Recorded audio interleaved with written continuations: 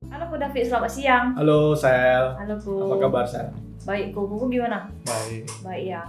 Ko denger-denger Hmm. di daerah Krakatau lagi ada project hot ya? Ya, jadi eh, di bulan ini lagi ada hot project nih di dalam eh, jalan Krakatau masuk dikit aja Jalan Mados. Jadi Jalan Mados itu udah jalan Besar gitu. jalan besar. Jadi daerah sana memang daerah perumahan. Mm-mm. Nah, bakalan dibangun itu 34 unit.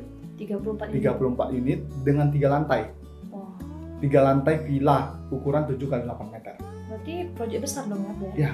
Jadi daerah sekit eh, daerah di sana itu jarang yang ada eh, villa dengan 7 meter 34 unit pa- pasti nggak ada lagi gitu. Biasanya kecil-kecil. gitu. Kecil-kecil 10 unit, 5 unit atau 8 unit gitu. Ini 34 unit dengan 7 meter. Oh, gitu. Ya. Dengan harga 888 juta aja. oh, murah ya, kok terjangkau ya? Terjangkau. Jadi buat teman-teman yang lagi nyari rumah ini boleh segera book unitnya. Oh, gitu. Karena daerah sana nggak bakalan ada yang lebar 7 meter lagi. ada Semua seperti nggak lagi ada kok ya? lagi gitu. Oh gitu. Eh, lokasinya juga sangat strategis kan? Strategis Ko, banget. Jadi di daerah sana dekat sama Kasimurah. Ya. Cuma berapa menit De- eh, keluar Krakatau langsung dapat. Hmm. Akses tol banyak lagi. Eh, Tanjung Mulia, Ya. kemudian Cemara, Bandar Selamat. Jadi kita mau ke mana-mana dekat. Aksesnya Aksesnya tuh banyak ya. gitu. Kemudian mau ke McD Ya. dekat juga, cuma berapa Iya. menit. Mau ke Citra Bagia City cuma berapa menit juga, tiga menit sampai. Ke Cemara tiga menit juga sampai.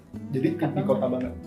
Terus yang yang jual makanan juga banyak, Banyak ya banget. kan di Krakatau. Apalagi kalau kalau kita mau ke Cemara juga deket kan, Iya ke benar. Citra Bagia juga deket. Tadi kan Koko bilang tiga lantai. Pengen dong spesifikasi yang lebih jelasnya kok. Oke, jadi eh, bakalan dibangun 7 kali 8 meter dengan spek tiga lantai. Oke. Kemudian ini dijual kosong.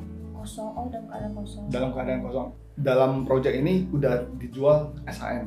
Jadi sertifikatnya udah hak milik, Ya. bukan HGB lagi.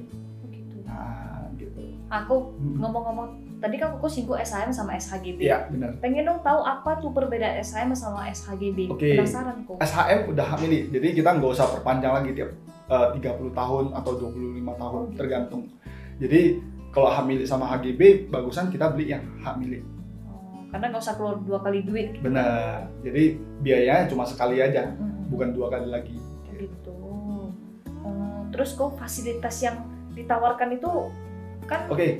Kalau fasilitas dalam komplek itu pasti security paling utama. wajib itu one gate system. Jadi aksesnya cuma one gate, keluar masuk cuma one gate gitu. Jadi nggak dua nggak dua arah.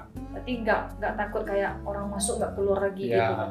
Kemudian security 24 jam, CCTV juga bakalan ada ada.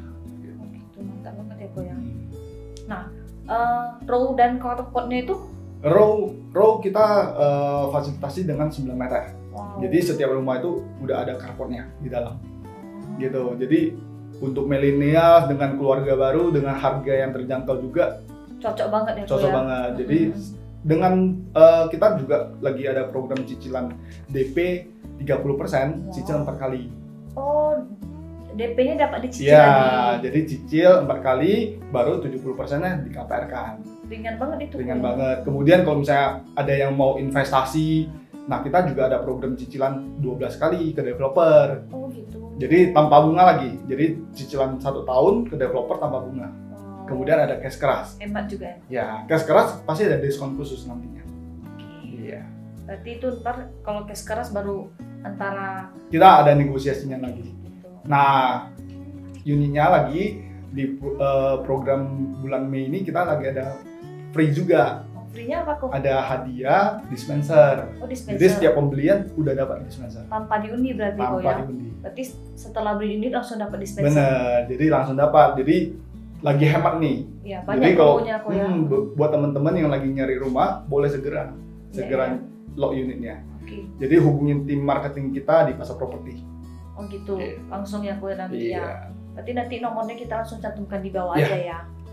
Thank you ya kok informasinya Boleh. ya. Thank you, Sel. Nah, Sobat Paspor kalau tertarik dengan hunian The Fluoroton ini boleh langsung hubungi kita di nomor 0853 1888 7198. Dan jangan lupa ya like, comment, subscribe YouTube channel kita di Pasar Properti untuk mendapatkan info terupdate dan review rumah selanjutnya. Pasar Properti, we offer the best solution. Bye-bye!